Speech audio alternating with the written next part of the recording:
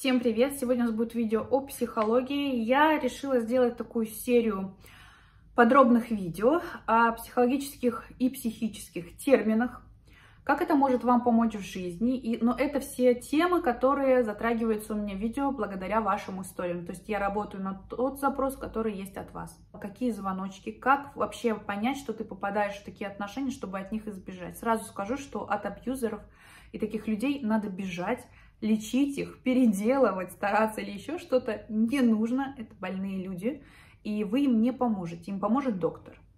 И стараться переделать или подстраиваться под этого человека, это уже заведомо вступать в созависимые отношения с таким человеком и, соответственно, обрекать себя на страдания. Кто хорошо вступает в созависимые отношения с подобными людьми, невротики, которые только и видят, готовы быть жертвой, которые только и видят такие моменты, чтобы жизнь равно боль, как я всегда в видео говорю. То есть это лакомый такой кусочек. Но сегодня я хочу рассказать немножечко о нарциссах, о этапах их поведения с вами, чтобы вот они, звоночки, чтобы вы понимали схему, как это работает, как не попасть в отношения с нарциссом. Это касается не только любовных отношений мужчины и женщины. Эти люди есть рядом с вами на работе. Это могут быть ваши друзья или ваши близкие родственники. И вы должны понять, как с ними с собой себя вести, как с ними общаться. И одно сразу скажу, что если вы выбираете этого человека, это не ваш родственник, а друг, либо партнер, либо любовник, от этого человека лучше отстраниться и бежать с ним, не контактировать. Это энергетические вампиры, которые любят, скажем так, издеваться над людьми и получают удовольствие от этого процесса они повышают, ну, это углубление идет, но они, скажем так, условно, простым языком, повышают а, свою самооценку, реализуют себя за счет ваших страданий, они от этого кайфуют. И вы потом уже не понимаете, все так начиналось, сейчас я об этом подробнее расскажу пониже, да? И казалось бы, все в порядке было идеально, а тут он же надо мной изгаляется, и уйти я от него не могу. И сейчас я расскажу механизм, как это работает, чтобы вы, кто в таких отношениях находится, вы понимали, что вы в созависимых уже отношениях, вы уже встряли. Но у вас есть возможность убежать. И убежать здесь это не зазорно, это спасение своей жизни. Вообще определение нарциссическое расстройство личности, чтобы вы понимали, есть такое расстройство личности. Это а, болезнь, это психиатрия, и это уже к врачу. Это нельзя изменить, эти люди не вылечиваются до конца, это можно купировать, есть там лекарства и так далее, медикаментозное воздействие, скажем так, более лайтовые, чтобы эти люди были. Но это не искоренить никогда. Есть такое определение, как нарциссический характер, когда человека э, регулярно подобные случаются а, реакции, действия у характера, это его поведение. Это не клинический случай, это то же самое, по сути, нарциссическое расстройство личности, но более в легкой степени – с этим можно жить. И уже я о чем говорила, это когда ваши родственники, близкие, знакомые, то есть, по сути, вам каким-то образом, скорее всего, родственники, члены семьи, с которыми приходится общаться, но это их характер, а не э, диагноз. Но эти люди нарциссы тоже, и с ними довольно-таки тяжело общаться. Это определенный на вас накладывает отпечаток. И последнее – это нарциссические реакции.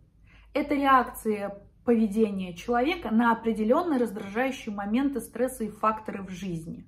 Когда человек нарциссично, скажем, нарциссично реагирует на что-то, то есть защищая себя, свое пространство, свою самооценку и так далее. И это хороший момент, такие реакции в меру любить себя, быть в меру эгоистичным, признаны нормальными и даже положительно оцениваются психологами и психиатрией. Это никакая не клиника, ничего, это просто реакция. То есть, когда я защищаю свою определенную территорию, свое я. И какая задача у нарцисса? Как он, чем он живет и питается? Чтобы проще, я буду это все максимально простым языком объяснять, не научным. Это такой энергетический вампир, который специально выискивает себе жертву человека, и который с ним вступит в созависимые отношения, не сможет с ним расстаться.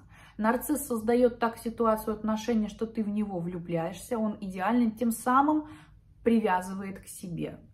И создает сначала обманом картинку, исходя из твоих реакций, он очень долго изучает, и э, создает такую картинку, ты думаешь, что это судьба, это сумасшедшая любовь, но когда он начинает над тобой издеваться, отталкивать тебя, делать больно, это может доходить и до физического насилия, до физической боли, тирания, домашние деспоты, там вся вот эта история мужей и жен, да, а жертва не может убежать, потому что у нее в голове остается картинка того идеала, как все начиналось, на что я купилась и что я полюбила.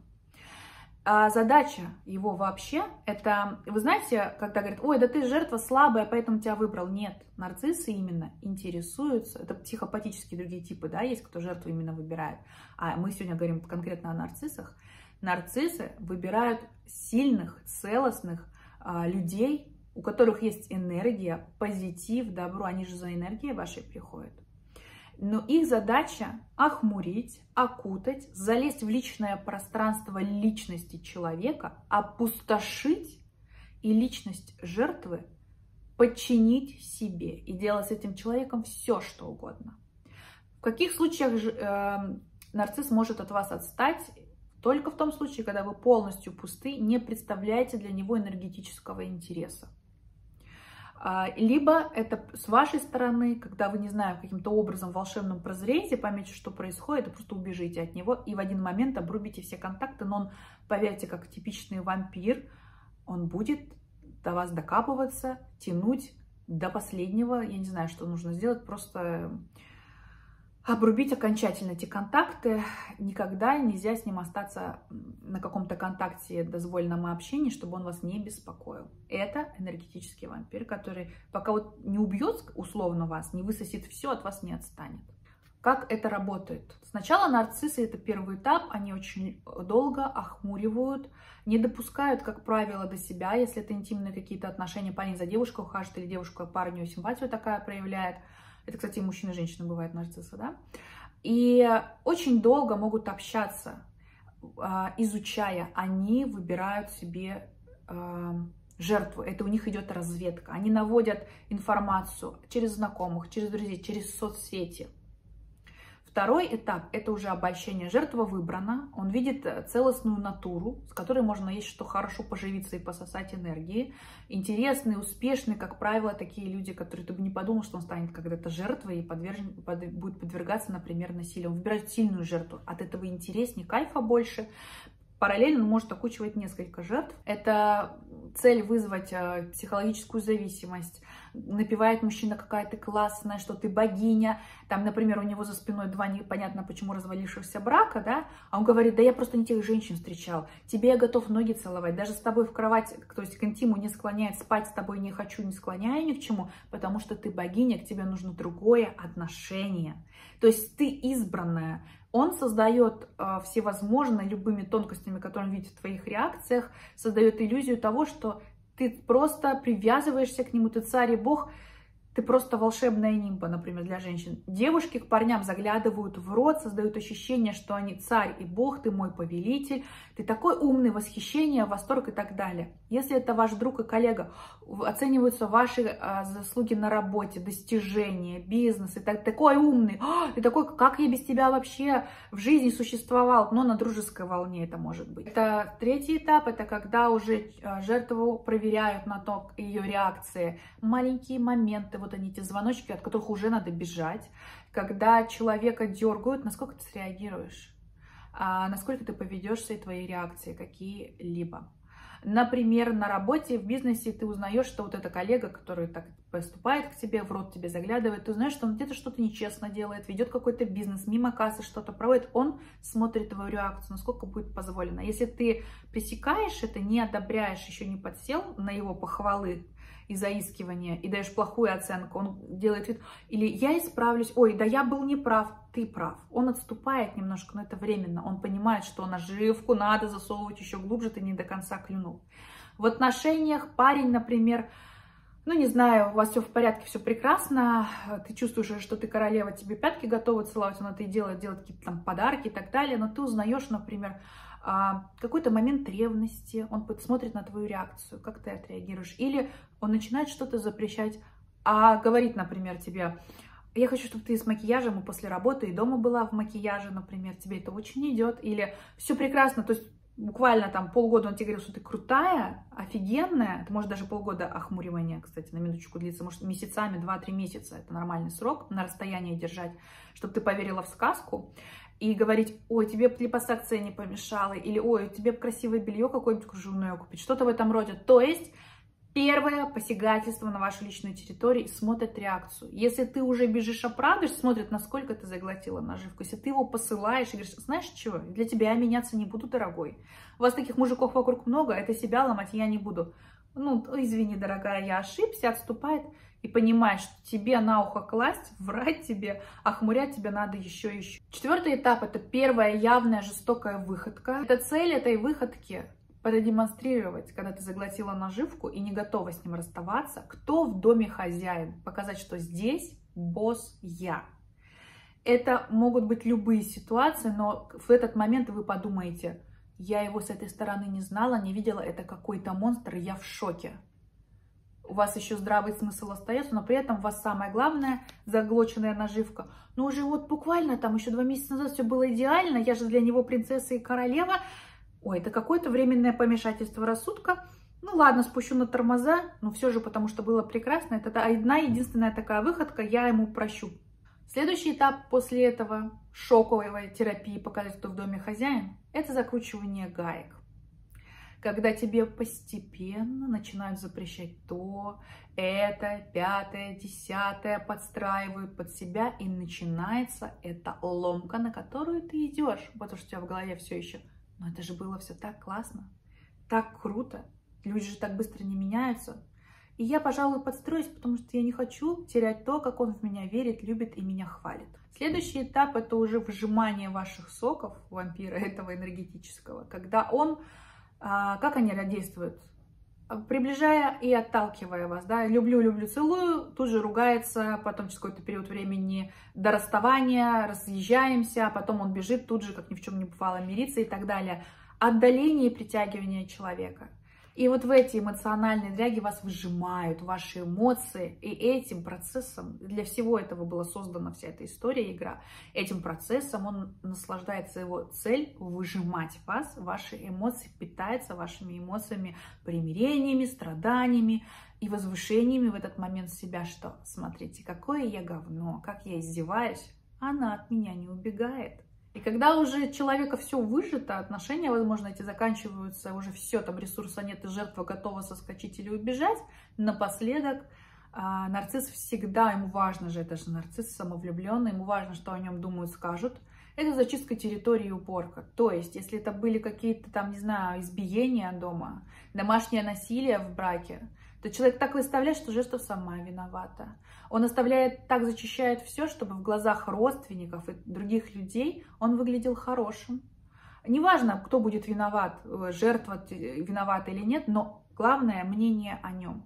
Если это на работе ваша коллега, например, то этот человек так, выкручивая вас эмоционально, подставляя как-то на работе, даже уходя, например, увольняясь с этой работы, делает так, что Ему говорят спасибо, ему благодарны, он сделал что-то хорошее. То есть самое главное здесь следов от себя не оставить, попользовался, попитался, высосал энергию, выжил, все эмоционально получил, и при этом остался в дамках, в хорошем положении, и о человеке действительно хорошее мнение у окружающих, ну не у жертв. Последний этап – это тот как, этап, когда жертва все-таки взъерепенилась, поняла, что она жертва, и надо что-то менять, например, при разводе у абьюзеров такое, да, не дают детей, или там заводят новые отношения, а он хочет, чтобы ты всегда вообще после него даже была одна, такие моменты, у меня даже в историях это все встречалось, еще и нанести урон своей жертве, а, вот уже, то есть я обелился, зачистил чистый, у меня все в порядке, я хороший, а ты, сволочь такая, на тебя навесит чувство вины, а нарушить контакты с семьей, с друзьями, выставить тебя в худшем свете, это еще, знаете, последнее издевательство научить. Если это дележка детей в браке, не давать детей. Знаете история, когда абьюзер был, семьей не занимался, начала разводиться, уходить от него, он вцепился в ребенка и манипулирует. Это вот этот случай, наказать тебя напоследок за то, что ты вообще посмел от меня уйти. Сейчас я вам вычит, зачитаю механизм описанный психиатром, как это работает, именно в процессы в мозге. Вследствие хронического стресса, который вам доставляет нарцисс, У человека сильно понижается сахар в крови. Женщина часто худеет, становятся более привлекательными согласно культурным параметрам в социуме, где они живут. Но при сильном снижении уровня сахара в крови включается стрессовая реакция, поднимается уровень кортизола и адреналина. А основная функция кортизола – это повышение уровня сахара в крови, чтобы вы не умерли.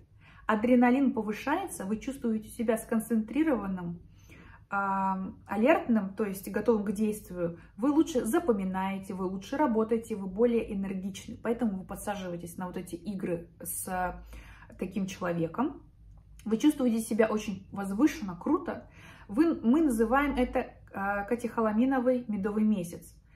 А, катехоламины – это гормоны, это стрессовая реакция, они помогают вам чувствовать себя хорошо. Люди приходят к очередному ошибочному умозаключению. То есть они думают, я чувствую себя круто, когда нахожусь в вот этих страдальческих отношениях. И э, значит, это правильно. И человек не понимает, что вся эта стрессовая реакция, похудение, э, упадок, э, по-другому вырабатываются гормоны, упадок сахара, люди не понимают, что это дорого обходится вашему организму, это проблемы со здоровьем, начинаются психосоматические реакции на стресс, и э, по сути, кажется, что человек на что подсаживается, да, жертва? Я похудела от любви, от страданий, я получаю вот этот гормон, когда мы миримся, по сути, социально приемлемо выгляжу, я похорошела, похудела. И гормон, женский особенно, этот гормон стресса, он дает преображение кожи лучше, волосы там не сыпятся, переливается, вся вот эта история. И визуально в зеркало вы видите подтверждение, что вы лучше выглядите в этих отношениях. Вот для женщин, вот просто на пальцах так раскладываю, да? Но вы забываете о том, что этот гормон вырабатывается из-за стресса, который вам приносит ваш партнер, абьюзер, нарцисс. И внутри-то все разрушается. Это психосоматика, но это выйдет позже, со временем, когда ваш организм выжмут, эмоционально истощится, и вы останетесь при разбитом корыте. Вас выжили, попользовались, ушли, а вы еще с болячками остаетесь. Вот я к чему. Для тех, кто его, кого эта тема сегодня заинтересовала, кто хочет об этом вообще почитать и, возможно, себя где-то увидел, я вам посоветую одну книжку крутую. Вот выдержка вот эта сейчас была из этой книжки. А, книжка автор Таня Танк. И книжка называется «Бойся, я с тобой». Купите ее в онлайн, она там стоит 250 рублей. Это 25 лир. Можно даже с оплатить в онлайн книжных там магазинах. Книжка, она стоит там рублей 300 в магазине в книжном. Литерас вроде ее производит издательство. Пишите комментарии, увидели вы себя сегодня, полезно ли такого плана видео в будущем снимать и разбирать вот эти процессы, что как, может, чтобы вы себя узнали, вас обез... хочу просто, чтобы вас обезопасить, вот так бы я это назвала. Интересно ли вот такие видео узкой направленности? Присылайте свои истории, почта у меня под видео в инфобоксе, ваша история для разбора видео или записывайтесь ко мне на психологические консультации. Если вы считаете, что видео полезное, оно нужное, Э, напишите об этом в комментарии, поставьте лайк, распространите его в соцсетях. И самое главное, напишите, с чем-то с этим сталкивались. Видео было для вас сегодня лично полезно и чем. Мне это очень важно знать. Скоро увидимся. Всем пока.